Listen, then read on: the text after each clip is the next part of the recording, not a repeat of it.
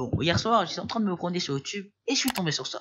En gros, c'est le vidéo d'un mec qui expliquait que les mousses acoustiques faites avec des boîtes d'œufs, c'était pas une bonne idée. Bonjour, je Il disait que c'était pas très efficace, que c'était que pour une certaine fréquence, c'est-à-dire vidéo sur le 700 thème Hz, et que donc c'était pas très utile.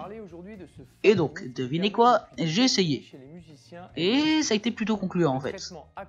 Quand j'ai parlé directement sans mettre le micro, j'ai remarqué que c'était plus agréable. On n'entendait plus l'écho de ma chambre, qui avait pourtant un écho assez conséquent.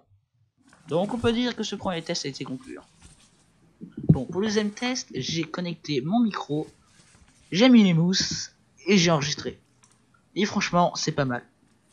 Le son a une meilleure qualité, on entend mieux les passes d'ailleurs. Et on n'entend pas les bruits de l'ordi qui est juste à côté, ni l'écho de ma chambre. Le deuxième test est donc concluant. Mais donc, pourquoi est-ce que ce youtubeur disait que c'était pas efficace? D'après Wikipédia, la voix d'un adulte est entre 0 et 500 Hz, et la voix d'un enfant entre 500 et 1400 Hz. Or, un bloqueur dit que les emballages d'œufs sont utiles comme mousse acoustique à partir de 700 Hz.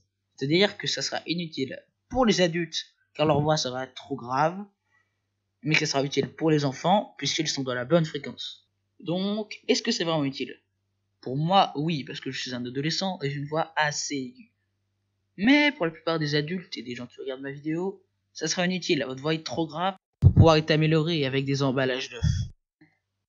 Bon, bon, bon, cette vidéo est terminée, je t'incite à liker, à partager et tout le reste d'ailleurs.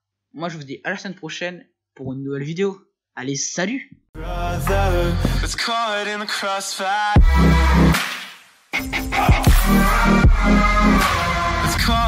crossfire.